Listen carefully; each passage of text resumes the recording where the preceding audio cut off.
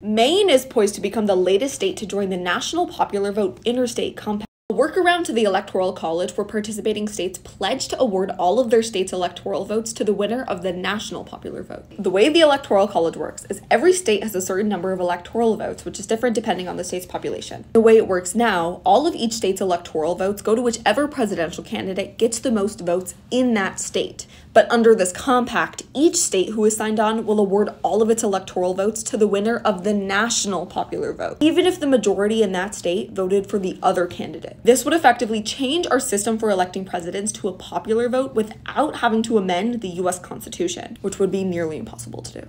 Currently, 16 states and Washington, D.C., which totals to 205 electoral votes, are members of this compact. The Maine House passed a bill to join the compact last week. And if that bill gets enacted, then there'd be a total of 209 electoral votes in the compact. And in order to go into effect, the compact needs 270 electoral votes.